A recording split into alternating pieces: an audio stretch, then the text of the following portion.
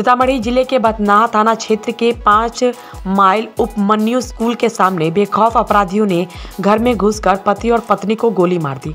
इस घटना में पत्नी की मौत हो गई है। मृतका की पहचान गायत्री देवी के रूप में हुई है जबकि उसके पति का नाम श्री नारायण शाह है, जिनकी स्थिति गंभीर बताई जा रही है। उसे शहर के एक निजी अस्पताल में भर्ती कराया गया है।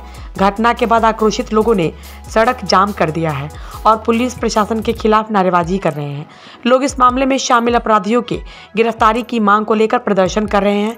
सूचना के बाद मौके पर पुलिस मामले की छानबीन में जुटी हुई है। हत्या के कारणों के बारे में कोई खुलासा नहीं हुआ है।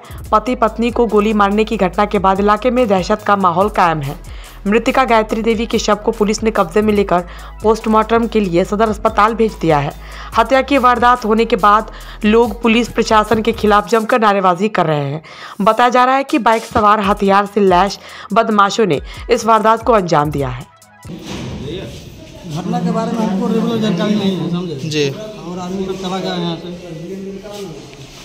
कहाँ पे गोली लगा था? गोली कहाँ पे लगा? गई माथा में लगा हुआ किनको किनको लगा था?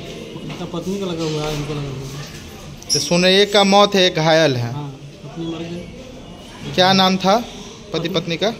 पत्नी का पति का नाम है श्रीनारायण साहब। पत्नी का? गायत्री देवी इन लोग का दुकान कहाँ पे चलता था? हो गया जगह का नाम क्या है? महनपुर महनपुर। नहीं है वहाँ से आगे है। वहाँ पेट्रोल पंप पर है। बरियारपुर। नहीं। कमलदा। से आगे पेट्रोल पंप जो हो गया। अच्छा वहाँ पे वहीं पे। वो लोग सोए हुए थे। हाँ दोनों। कितना आदमी से आया हुआ था सो नहीं मालूम है।